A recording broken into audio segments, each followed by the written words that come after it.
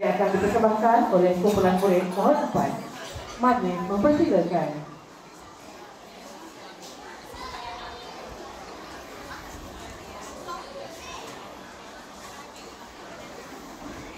Thank you.